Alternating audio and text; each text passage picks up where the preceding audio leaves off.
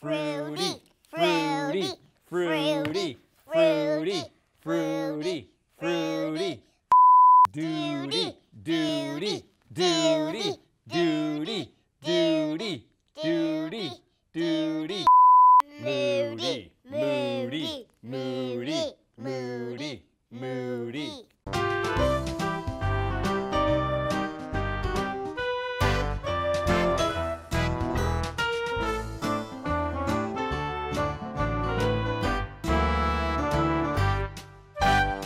There was a special 25th anniversary screening of Rudy in theaters over the weekend, and we were lucky enough to get to go and see it.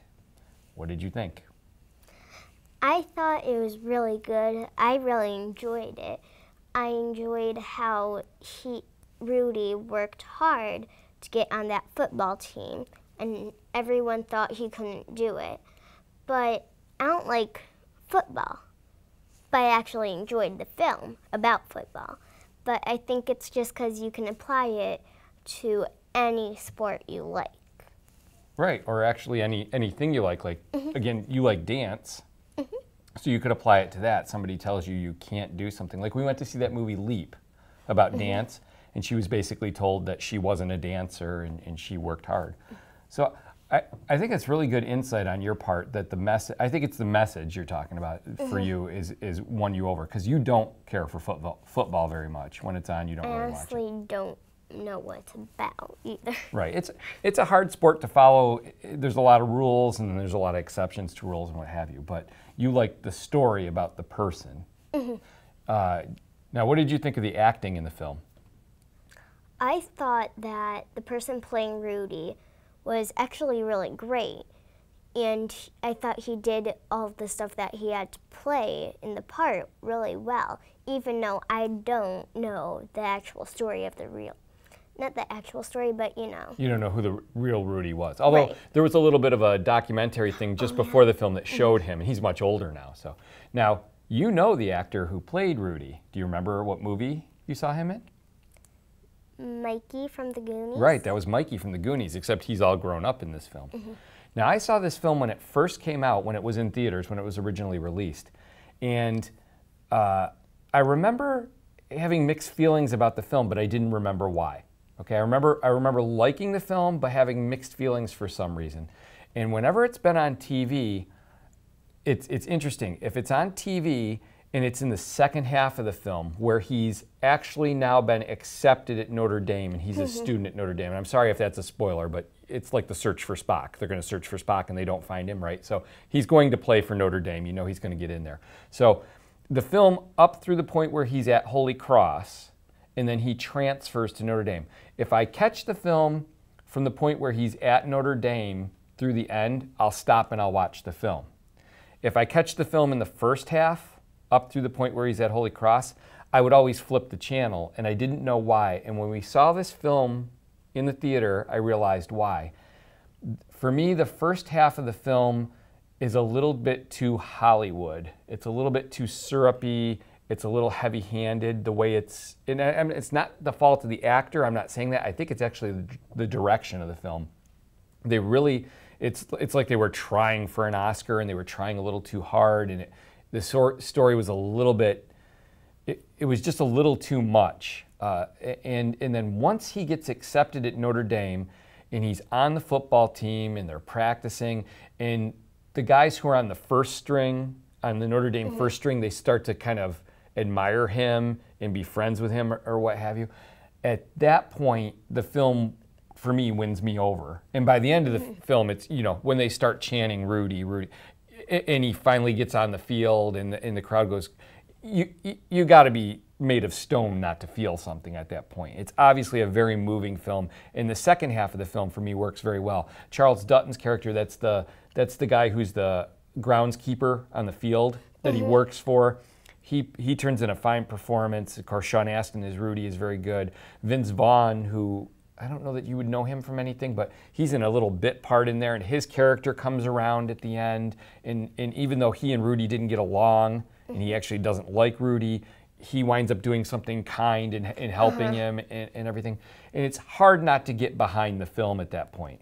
It's hard not to feel good because all these people start to believe in him, and people who didn't like him get behind him, and mm-hmm. and he's just a nice guy. You know, and you could see that, and it seems like that. In the first part of the movie, for me, they're trying too hard to show that he's a nice guy or to prove that he's a nice guy. And I don't think we needed that. I think just by his actions and who he was, you you could get that mm-hmm. without that. So for me, th- that's where I that's kind of where I fell on, on the movie. That's that the first half is is a little bit much for me, but by the second half of the film, I really was enjoying it. Because to be honest with you, when we were sitting there, the first half of the film, I'm like, oh, why did I drag them to this? But you liked it. Did you like the first half? I thought there wasn't that much action in it, but I did think it was okay.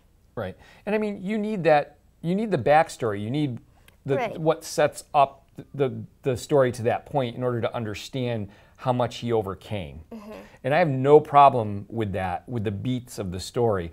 I guess I have a problem with the way it was presented because I felt it was a little syrupy for me. It was a little too Hollywood esque. You know what I mean? So, uh, did you have a favorite part of the film? Hmm. I really don't think so. I liked it, most of it all.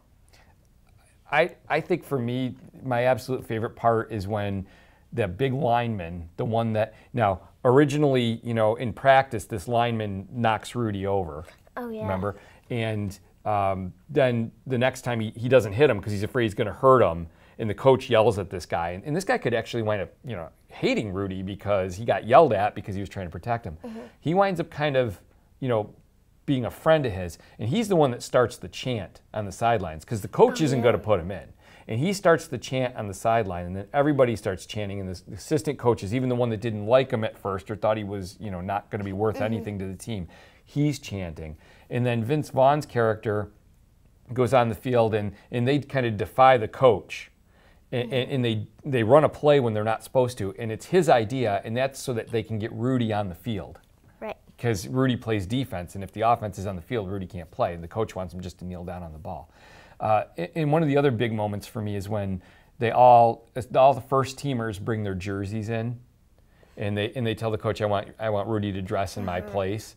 I mean, again, you you have to be the most hard-hearted person in the world not to feel something when they're doing that, because it's you know that's the kind of thing that you you you hope people are. You hope people act that way, and mm-hmm. you hope people would do that kind of stuff. So I, I thought that was pretty cool. And like you said, you know, it's a football movie, but you don't you don't care for football, but you still found it enjoyable. Mm-hmm. So I mean, and I think that's because of the story, right? I mean, the message, like you mm-hmm. said. Did you? Was there anything else you thought about? Was there anything that um, bothered you in the movie? Anything that was Not really, no. no.